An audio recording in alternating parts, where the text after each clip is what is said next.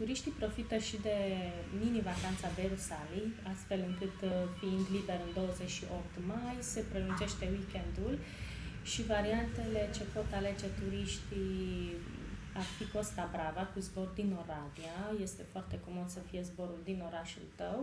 așadar o scurtă